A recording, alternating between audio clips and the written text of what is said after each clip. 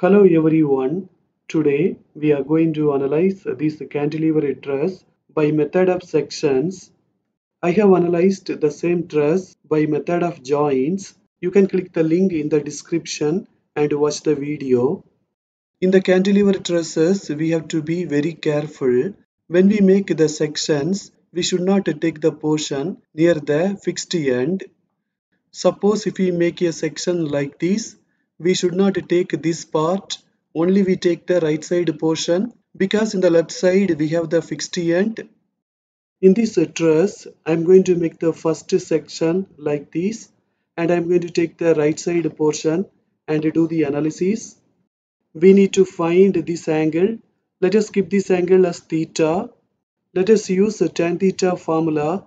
We know that tan theta is opposite side by adjacent side in this way, we can find the theta to be 26.56. Let us take moment about C.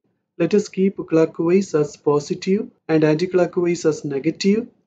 When we take a moment about C, we should not consider FAC.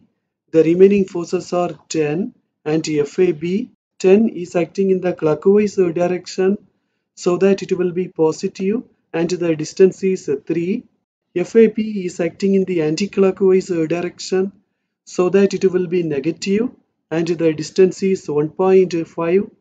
For FAB, we will get a positive value that means it is tensile. Now let us apply the rule sigma V is equal to 0. 10 is acting downwards so that it will be negative. FAC is inclined, we have to make it vertical. To make it vertical, we need 90 minus 26.56 we will get 63.44 degree.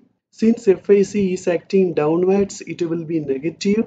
And we have to multiply with the cos 63.44 finally for FAC we will get a negative value. That means it is compressive. Now I am going to make the second section like this.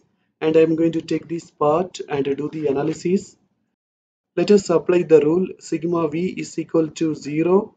FBC is acting upwards so that it will be positive. 10 is acting downwards so it will be negative. Finally for FBC we will get a positive value that means it is tensile. Now let us apply the rule sigma h is equal to 0. FCD and FAB are acting towards the left side so both of them are negative we have already found FAB 20 and it is tensile. Let us apply that. Finally, for FCD, we will get a negative value. That means it is compressive. Now I am going to make the third section like this and I am going to take the right side portion and do the analysis. We have to find this angle by using tan theta formula. We can find the angle to be 26.56 let us take moment about E. When we take moment about E, we should not consider FBE. The remaining forces are FCD, FBD and 10. 10 is acting in the clockwise direction so that it will be positive and the distance is 6.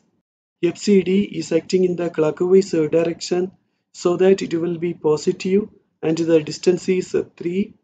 About the point E, FBD is not perpendicular. We can resolve FBD with respect to BE or with respect to DE. I am going to resolve it with respect to DE. To make FBD perpendicular to DE, we have to keep FBD horizontal. To keep it horizontal, we need 26.56 degree.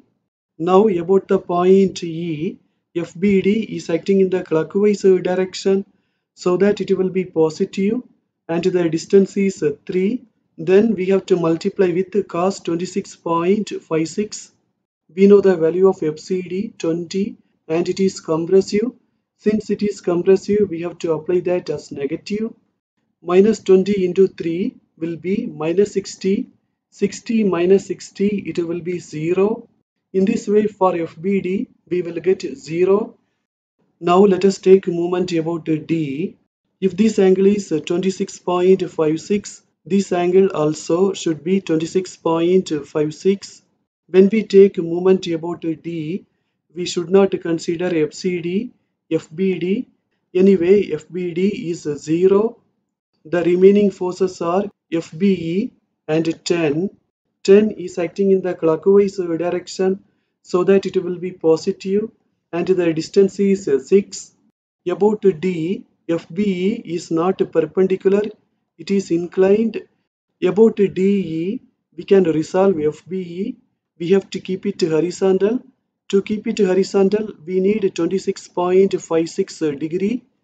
Now about the point D, FBE is acting in the anti-clockwise direction so that it will be negative and the distance is 3 and we have to multiply with the cos 26.56 for FBE we will get a positive value. That means it is tensile alternatively we can apply this rule and find FBE FBD is a 0 so no need to consider that. We have to make FBE vertical. To make it vertical we need 63.44 degree. Since it is acting upwards it will be positive. And we have to multiply with the cos 63.44 10 is acting downwards so it will be negative. Finally for FBE we will get 22.36 and it is tensile. Here I have tabulated all of the member forces. Now we are going to end this session. Thank you for watching this video